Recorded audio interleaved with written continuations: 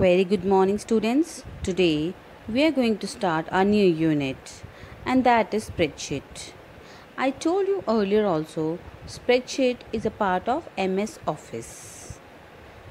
The term spreadsheet is used widely in accounting and business today. However, the origin of the word is very interesting. Spreadsheet is basically derived from the word spread. It can be seen in the context of newspaper or magazine where two facing pages extended or are spread across the centerfold and considered as one. Excel is one of the most powerful professional and advanced spreadsheet software and it is used by large number of people across the world. Excel is one of the most professional software it is used by a large number of people across the world. Basically it is used to store organize calculate and manipulate the available data in a tabular format. It is consisting of rows and columns. In this session we are going to cover four basic topics and they are use auto sum in cells conditional formatting hide, unhide, freeze, rows and column and set page break.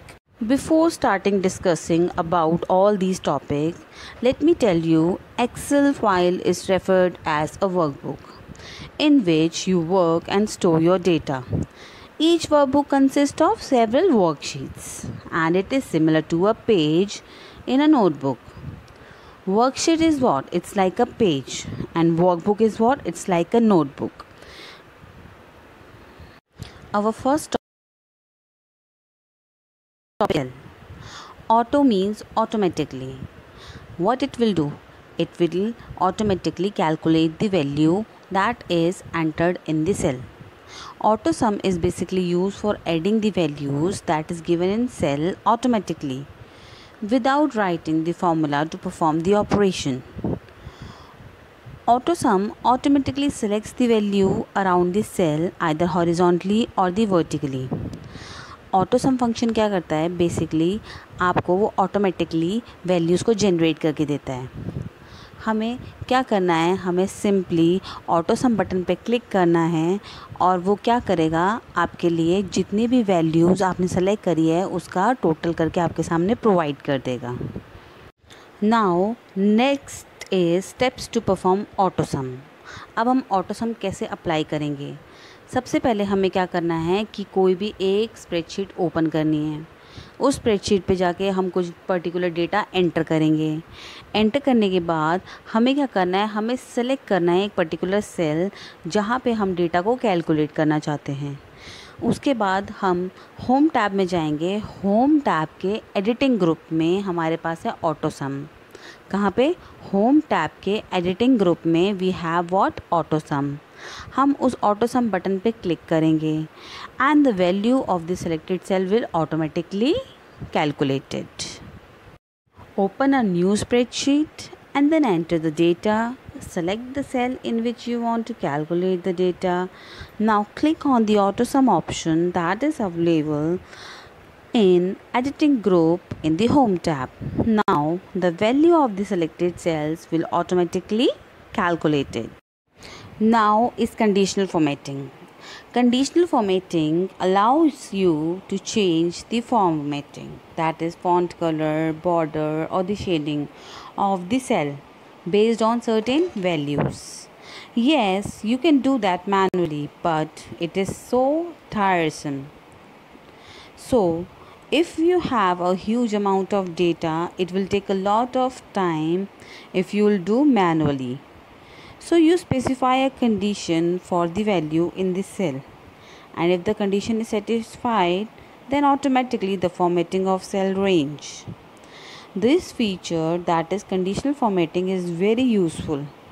If you are working on a profit and loss spreadsheet or temperature variance spreadsheet or any mark sheet you can highlight cells that have values either greater than, less than, or the defined rule with one color. So conditional formatting क्या होता है conditional formatting basically हम अपने कुछ data को highlight करते हैं एक क्राइटेरिया के अकॉर्डिंगली जैसे कि मेरी क्लास में फोर्टी स्टूडेंट्स हैं और मैं चाहती हूँ उन स्टूडेंट्स के माँ मतलब उन स्टूडेंट्स का रिकॉर्ड रेड कलर से मार्क्ड हो जाए, जिनके मार्क्स थर्टी थ्री से कम आए हैं। तो हम उसके लिए क्या करेंगे? क्राइटेरिया लगाएँगे। वो क्राइटेरिया लगाने के बाद वो हम कहाँ से अप्लाई कर सकते हैं? कंडीशनल फॉर्मेटिंग कंडीशनल फॉर्मेटिंग के ग्रेटर देन या लेस देन रूल से। अगर हमने लेस देन सेलेक्ट करा है और लेस देन में हमने थर्टी थ्री लिखा है तो वो क्या करेगा? जो मेरा सेलेक्टेड डेटा है जो मेरा सेलेक्टेड डेटा है, उसमें जितने भी मार्क्स थर्टी थ्री से कम हैं, उन सबको वो रेड से हाईलाइट कर देगा। तो कंडीशनल फॉर्मेटिंग हमें हेल्प करता है कि जब हम ह्यूज अमाउंट ऑफ़ डेटा पे वर्क करते हैं। We can control the following formats while using conditional formatting and they are number format font font style, and the font color. But we cannot do what? Font size. We cannot control the font size. Another is fill color fill pattern border color border style but not the border thickness. Now if we want to apply conditional formatting again we will have to follow the same step. For doing any task in excel we will have to open what? A worksheet. After opening the worksheet we'll have to write the data now to apply conditional formatting for the data we'll have to do the following First of all, we will have to select all the cell that we want to be format as based on conditions. Then we will have to click on where conditional formatting option. और ये हमें कहाँ मिलेगा? Home tab में। जब हम home tab के conditional formatting button पे क्लिक करेंगे तो हमारे सामने एक ड्रॉप डाउन अपीयर होगा। ड्रॉप डाउन में क्या होगा आपके पास? वेरियस कंडीशंस आप अपने अकॉर्डिंगली कोई भी कंडीशन वहाँ से सेलेक्ट कर सकते हैं और उस पर्टिकुलर डेटा पे अप्लाई कर सकते हैं। So we will have to click on highlighted cell rule option a sub menu will appears sub menu means जैसे कि हमने क्या किया कंडीशनल फॉर्मेटिंग में गए। कंडीशनल फॉर्मेटिंग में जब हमने क्लिक करा था तो हमारे सामने ड्रॉप डाउन अपीयर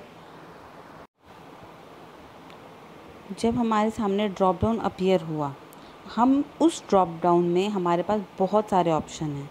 उस ऑप्शन में से हम कौन सा ऑप्शन सेलेक्ट करेंगे? Highlighted cell rules now are another topic is hide and unhide rows and column हम बेसिकली हाइट और अनहाइट तब करते हैं रोज और कॉलम को जब हमें कुछ पर्टिकुलर डेटा किसी को व्यू नहीं करवाना होता। Sometimes you have data in a row and column which are needed for formula or chart but you do not want the data to be visible a very handy features of this Excel sheet is they has the ability to hide that particular row or column that you do not want to use the end user. The data is hidden the data in hidden rows and column is available for calculation though it is not visible.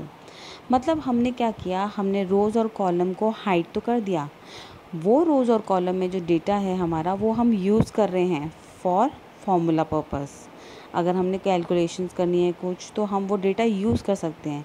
लेकिन hide करने की वजह से वो data हमें view नहीं होगा। जैसे हम हाइड करते हैं, वैसे हम अनहाइड भी कर देते हैं। सबसे पहले हम ये स्टेप्स देखेंगे कि हम किसी पर्टिकुलर रो या कॉलम को हाइड करना चाह रहे हैं तो हमें क्या करना है। अगर हमें कोई रो को हाइट करना है या अनहाइट करना है तो हम क्या करेंगे? कोई भी स्टेप करने से पहले मैंने आपको पहले भी बताया था will have to open a spreadsheet and if you want to hide a row we will have to do the following steps and they are in order to hide any row or column, you can either select that particular row or column that is to be hidden. ठीक है? मतलब क्या कहना है? चाह रहा है वो यहाँ पे, कि अगर हमें हाइड करना है कोई भी रो या कोई भी कॉलम हमें उस पर्टिकुलर रो या उस पर्टिकुलर कॉलम को सबसे पहले सेलेक्ट करना पड़ेगा। सेलेक्ट करने के बाद हम होम टैब में ही जाएँगे। कहाँ पे जाएँगे हम? होम टैब में। हमें कंडीशनल फॉर्मेटिंग भी होम टैब में मिली थी। हाइड और अनहाइड भी हमें कहाँ मिलेगा? होम टैब के होम टैब में हमारे पास ग्रुप्स हैं। उन ग्रुप में से एक है सेल ग्रुप सेल ग्रुप में जाके हम फॉर्मेट पे क्लिक करेंगे। जब हम उस पर क्लिक करेंगे, हमारे सामने एक ड्रॉप डाउन लिस्ट आएगी। उस ड्रॉप डाउन लिस्ट में से हम सेलेक्ट कर सकते हैं क्या? हाइट ऐसा करने से हमारी जो पर्टिकुलर रो या कॉलम हमने सेलेक्ट कर रखा है, वो क्या हो जाएगा? हमारे लिए हाइट हो जाएगा। Alternatively you can select rows and column by right clicking and then select the hide जैसे कि हम, मैंने आपको पहले बताया था रोज़ होती हैं और कॉलम होती हैं वर्कशीट में। जब रोज़ और कॉलम इंटरसेक्ट होती हैं तो एक सेल बनता है। रोज़ जो होती हैं, वो कैसे होती हैं? आपकी बेसिकली हॉरिजॉन्टल होती हैं और कॉलम जो होते हैं वर्टिकल होते हैं। अगर मुझे हाइट और अनहाइट करना है एक शॉर्टकट तरीके से तो मैं क्या करूँगी? वर्टिकल कॉलम वर्टिकल कॉलम मतलब कि वर्टिकल क्या हो गया? कॉलम्स कोई भी कॉलम को अगर मैंने हाइट करना है तो वर्टिकली मैं उस कॉलम हेडिंग पे राइट क्लिक करूँगी। जैसे मैंने राइट क्लिक करा तो मेरे सामने एक ड्रॉप डाउन आएगा और you can see that popup menu आएगा। उस पॉपअप मेन्यू पे मेरे पास ऑप्शन दिया होगा हाइट जैसे मैं हाइट पर सिलेक्ट करूँगी, वो पर्टिकुलर कॉलम मेरे लिए हाइट हो जाएगा। अब मैंने डेटा अपना हाइट तो कर दिया है। अगर मुझे अनहाइट करना हो मतलब कि वो डेटा मुझे दोबारा व्यू करना हो तो मैं क्या करूँगी? So in order to unhide the row or column that we have hidden what will have to do we will have to select any cell हमें कोई भी सेल को सेलेक्ट करना पड़ेगा उससे पहले वाला या उससे बाद वाला, जो हमने हाइड करा है। फिर हम क्लिक करेंगे अनहाइड ऑप्शन हमें होम टैब में ही मिला था ना? होम टैब में गए थे हम सेल ग्रुप में गए थे, वहाँ पे हम फॉर्मेट पे गए थे। वहाँ से हमने हाइड किया था। जस्ट हाइड के बिलो आपके पास क्या ऑप्शन है? अनहाइड और ऑल्टरनेटिव सॉल्यूशन भी क्या हो सकता है हमारे लिए? वही हमने रो हेडिंग या कॉलम हेडिंग पर राइट क्लिक करा पॉपअप मेन्यू आ गया। वहाँ से हमने अनहाइट्स ऑप्शन को सिलेक्ट कर दिया। ऐसे हमारे कॉलम अनहाइड हो जाएँगे। अब हमारा अगला टॉपिक आता है फ्रीज़ फ्रीज़ करना मतलब जमा देना। जैसे कि हम डेटा एंटर करते हैं स्प्रेडशीट में, जैसे हमने उसके हेडिंग्स डाले serial number name class father's name mother's name हम क्या कर रहे हैं? डेटा टाइप करते चले जा रहे हैं। डेटा टाइप करते चले जा रहे हैं और क्या हो रहा है कि जो हमारे प्रायर सेल हैं, जिसमें हम डेटा एंटर कर चुके हैं, वो क्या होते जा रहे हैं? ऊपर की तरफ़ रोल ऑन होते जा रहे हैं। अब हम डेटा तो एंटर करते जा रहे हैं, लेकिन जो हमारा फ़र्स्ट कॉलम था, जहाँ पे हमने हेडिंग्स डाली थी, वो अब हमें व्यू नहीं हो रहा है। तो अब हम अगर डेटा एंटर करना चाह रहे हैं और हम लोग को मेमोराइज़ भी नहीं है कि पहले से फादर नेम आएगा या मदर नेम आएगा तो हम उस कंडीशन को फुलफ़िल करने के लिए क्या करते हैं, हम कॉलम को फ्रीज़ कर देते हैं। हम क्या करेंगे, जो हमने हेडिंग बनाई है अपनी जो हमने हेडिंग रो बनाई है, जहाँ पे हमने serial number name class father's name father phone number mother name mother phone number लिया है। उस पर्टिकुलर रो को हम फ्रीज़ कर देते हैं। फ्रीज़ मतलब कि जब हम डेटा एंटर करेंगे, वो रो नहीं आप अपनी लोकेशन से हिलेगी। बाकी सब रोज़ ऊपर ऊपर शिफ्ट होती चली जाएगी। So freezing rows and column is another helpful feature in spreadsheet when you are dealing with a huge amount of data that spans several rows and column. You may want the header to remain constant. मैंने बोला आपको कि हम क्या करेंगे? जो हमने headings बनाई हैं, उस हेडर को अगर हम फ्रीज़ करना चाह रहे हैं कि वो एक ही प्लेस पे रहे तो हम कौन सा ऑप्शन लेंगे? Freeze option while you scroll through the data so that you can see and identify the names of the rows and column तो हम उसके लिए क्या यूज़ करेंगे? अपना freeze row and column now अब जैसे हमने हाइट और अनहाइट किया था, वैसे अगर हमें फ्रीज़ करना हो, मैंने आपको जितने भी अभी स्टेप्स बताए, चाहे हमें ऑटो सम करना है, चाहे हमें हाइट करना है, चाहे हमें कंडीशनल फॉर्मेटिंग लगानी है, और या तो अब हमें फ्रीज़ करना है तो हम ये डेटा कहाँ पर वर्क कर रहे हैं स्प्रेडशीट पे? तो उसके लिए सबसे बेसिक स्टेप क्या है हमारा कि हमें पहले एक स्प्रेडशीट को ओपन करना पड़ेगा। अगर हमें कोई भी रो और कॉलम को फ्रीज़ करना है तो हम किस पे क्लिक करेंगे? फ्रीज़ पेन ऑप्शन पे। और ये हमें मिलेगा व्यू टैब में। आपका हाइट और अनहाइट जो था, वो आपको मिला था होम टैब के सेल ग्रुप में। लेकिन आपको फ्रीज ऑप्शन कहाँ मिलेगा? व्यू टैब में। Which tab view tab view tab के विंडोज़ ग्रुप में आपके पास है फ्रीज ऑप्शन जब आप उस फ्रीज ऑप्शन पे क्लिक करेंगे अगेन आपके सामने एक लिस्ट आएगी। ठीक है? वहाँ से आपको क्या क्लिक करना है? Freeze pane doing so will freeze all the rows above all the columns to the left of the selected cell now जब हम स्क्रॉल करेंगे माउस पूरी स्प्रेडशीट में, हम क्या देखेंगे कि जो रो या जो पर्टिकुलर कॉलम को हमने फ्रीज़ किया है, वो कांस्टेंट रहेगा। वो चेंज नहीं होगा। बाकी हमारे नीचे जो रोज़ हैं या कॉलम्स हैं, वो चेंज होते चले जाएँगे। Now last topic of today session is set page break अब पेज ब्रेक क्या होता है बेसिकली जब हम प्रिंटिंग करते हैं तो उससे पहले हम अपने पेज को ब्रेक करते हैं सो so दैट कि हमारा पर्टिकुलर डेटा उसी पेज के अंडर आए, बाहर ना जाए। So to print a worksheet with the exact number of pages that we want but we will have to do we will have to adjust the page break. हमें क्या करना पड़ता है? प्रिंटिंग करने से पहले अपनी वर्कशीट को प्रॉपरली एडजस्ट करना पड़ता है। ये फीचर जो है आपका is very useful specially when printing huge sheets you can use page break view to use other changes that is affect and automatically page break मतलब क्या है कि आपने जो भी चेंजेस करे हैं, अपने पर्टिकुलर स्प्रेडशीट पे, वो आप देख सकते हैं। कहाँ पे जाके? पेज ब्रेक व्यू पे। How to set page break in spreadsheet हमें क्या करना है? सबसे पहले स्प्रेडशीट को ओपन करना है and then create a sheet उस पर कुछ डेटा लिखना है। फिर व्यू टैब में जाएँगे हम, जो हमें कहाँ पे मिलेगा? व्यू ग्रुप व्यू टैब के व्यू ग्रुप में। हमें फ्रीज पेन भी कहाँ मिला था? व्यू टैब में। वहाँ से हम जाके पेज ब्रेक प्रीव्यू पे क्लिक करेंगे। ठीक है? जब हम पेज ब्रेक प्रीव्यू पे क्लिक करेंगे तो वो हमें शो करेगा कि हमारा पेज प्रिंटिंग होने के बाद कैसा दिखेगा।